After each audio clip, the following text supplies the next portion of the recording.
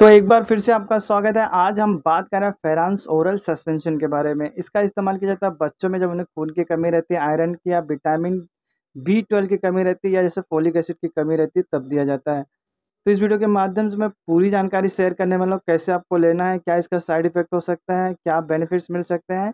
तो आप वीडियो के अंत तक बने रहें और जैसे अपडेटेड रहना चाहते हैं फ्यूचर में तो चैनल को सब्सक्राइब कर लें।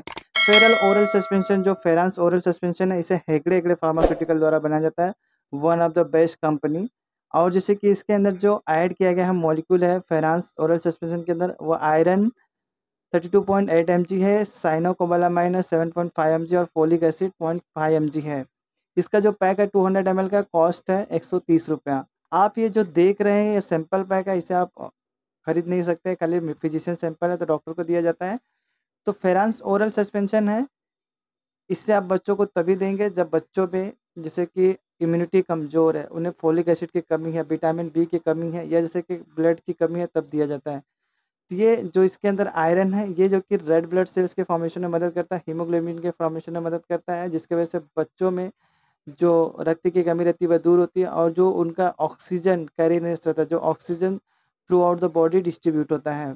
और इसके अंदर जो फोल और इसके अंदर जो साइनोकोवलामाइन है, ये विटामिन बी ट्वेल्व में हेल्प करता है, जैसे कि ये न्यूट्रिएंट प्रोवाइड करता है विटामिन की और फोलिक एसिड इसके अंदर है तो ये हेल्प करता है, जैसे कि रेड ब्लड सेल्स के फॉर्मेशन में, जो काफ़ी अच्छे से हेल्प करता है बच्चों की इम्यूनिटी के बूस्ट होने में। आप जैसे कि इसे ना देख के आप नेचुरल वे से भी बच्चों का इम्यूनिटी बढ़ा सकते हैं, उन्हें अच्छे से रख सकते हैं, जैसे कि आप यूज़ कर सकते हैं बच्चों में खाने में, जैसे मीट एग और ब्रोकली यूज़ कर सकते हैं। तो वो भी आपको बच्चों में रिच फ़ूड रहता है, जैसे यानी बच्चों को जो इम्यूनिटी सिस्टम बूस्टर करता है वो भी।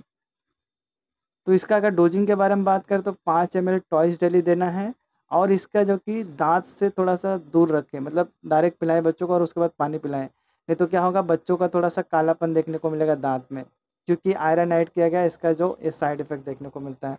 और इसके अंदर जो साइनोकोबलमाइन है तो ये चिलेट फॉर्म में तो गैस्ट्रिक इरेसेशन जो रहता है वो नहीं होता है। और इसके अंदर जैसे कि बच्चों में